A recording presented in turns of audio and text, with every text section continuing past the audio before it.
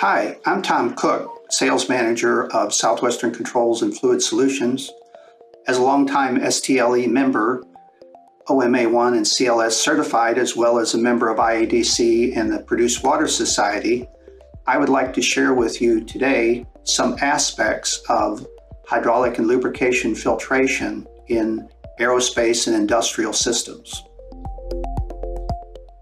To do such, let's consider contamination sources systemically. Cylinder rods provide ingression of dirt. You have a chrome-plated rod that you think is super smooth, but if you touch it, you'll see that there's a film of oil in it, and that oil draws contamination into the cylinder. That can be viewed on this piece of mobile equipment. Aside from solid particle contamination, you have to consider ingression of moisture and humidity particularly moisture and humidity that comes from the environment of the workplace. New oil is not necessarily clean oil, so you have to consider contaminant ingression from when you're filling your oil as well as during storage and handling. This young man's really proud of how he's dispensing this system, but it's not the proper way of doing it. Rather, you want to utilize clean, effective dispensing and filter transfer devices. Reservoirs are built to settle out dirt, and over a period of time, you're going to have fines build up within the reservoir. On one troubleshooting escapade, I went all the way to Chile to be able to discover such a fines buildup in a reservoir that the major oil company couldn't find.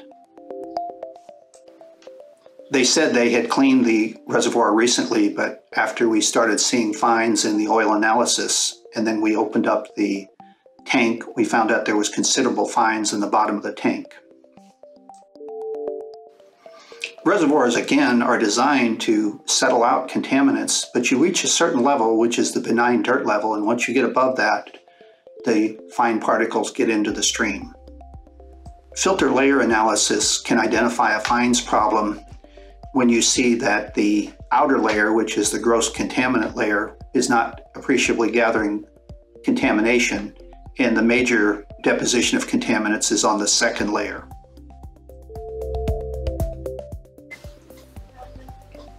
Modern mobile equipment compact reservoir designs are a issue for consideration as well as large storage tanks, all of which can accommodate elusive fines.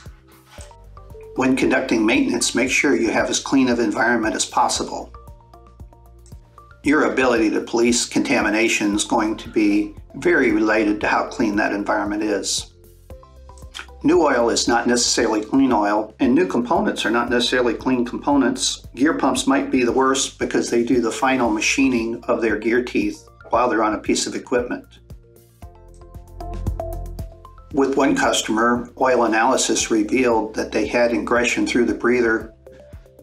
One young man sent me this picture and was told by his boss to tell me that they have a quality breather here. Obvious but basic, you should clear all that dust off of the top of the reservoir around the filler breather, and you really need to use a quality desiccant breather.